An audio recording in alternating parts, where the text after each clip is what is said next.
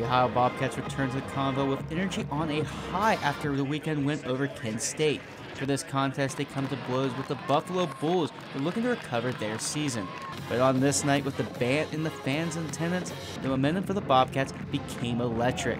After a slow start in the first few minutes, Ohio came out of the first timeout with non-stop energy. Almost on every play, the Bobcats would keep the crowd on its feet with either a long three-pointer or from the star of this game, AJ Clayton, would bring the hammer down with multiple dunks. AJ Clayton would finish the night with 16 points, becoming a key factor on this team. But he wasn't the only one, as four other players scored in double digits, including AJ Sheldon, who would score 15 points from the bench.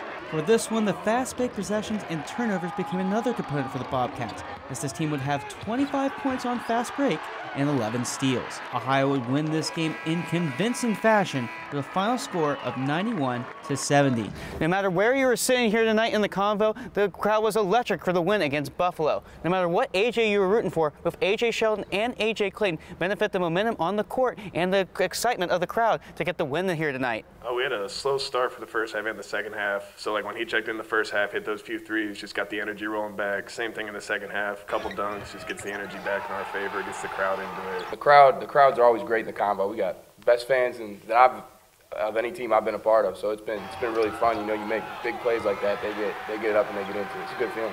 With this game in the books, the focus now shifts towards the weekend as the Bobcats take on the Miami Redhawks.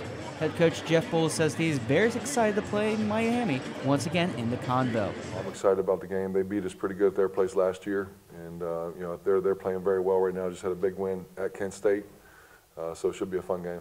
For WOUB Bobcat Showcase, I'm Payton Brooker.